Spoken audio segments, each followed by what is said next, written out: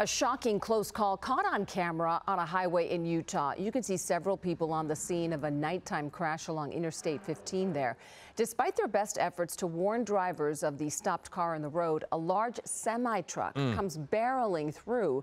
The truck barely missed the stopped car, forcing people to run for safety at the last second. The Utah Highway Patrol is sharing this video to warn people of the dangers of highway crash scenes That's just terrifying. I mean, oh doing everything they can, but still putting their own lives at risk. and going so fast.